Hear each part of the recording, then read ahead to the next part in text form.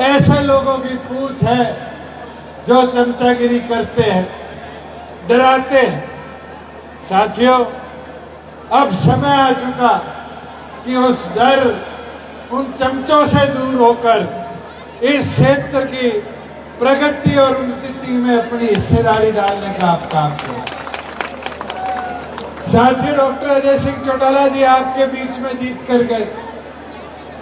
आज दोबारा वो सुनहरा अवसर कि विकास की झड़ी दाता रामगढ़ में लगी।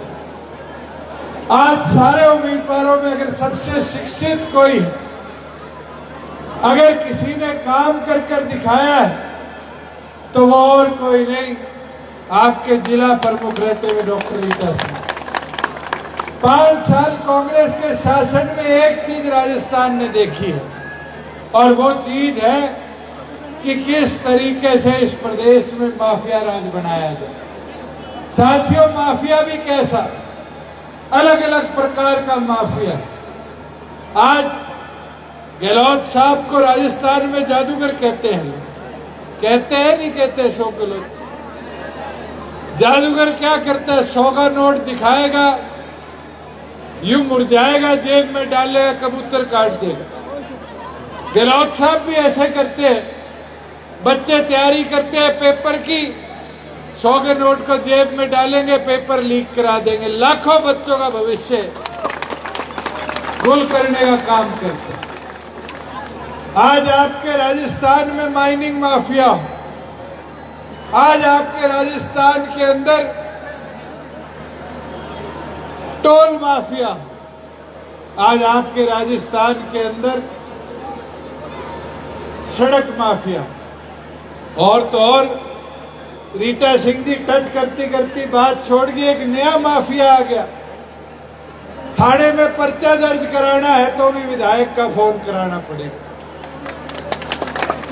गरीब आदमी की कोई सुनवाई नहीं। बुज़ुर्ग युवा साथियों, मैं एक चीज़ कह सकता हूँ, इस भय के माहौल से बाहर निकलने का काम करो। कांग्रेस के विधायक ने लंबे समय तक आपको डराने का काम किया। मगर आज बुज़ुर्गों का जोश, युवाओं का जोश, मेरी माताओं, बहनों का जोश, ये दर्शाता है कि लोग अब डरेंगे आज दाता रामगढ़ अपने स्वाभिमान की लड़ाई लड़ेगा। दाता रामगढ़ अपने विकास की लड़ाई लड़ेगा। दादा रामगढ़ अपनी प्रगति की लड़ाई लड़ेगा। साथियों, मैं तो आपको ये विश्वास के साथ कह सकता हूँ, मेरे को तेरह जिलों में अलग अलग जगह जाने का मौका मिला।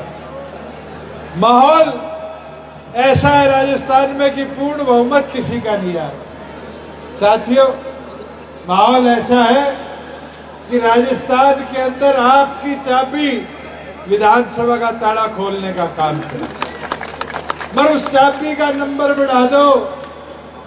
आज फतेहपुर हम जीत रहे सूरतगढ़ हम जीत रहे इंडोन हम जीत रहे नीम का थाना हम जीत रहे और उस नंबर के अंदर दाता रामगढ़ की जीत को इतना ऐतिहासिक कर की कि ताला मजबूती से खोलने का दम आप रख पाओ।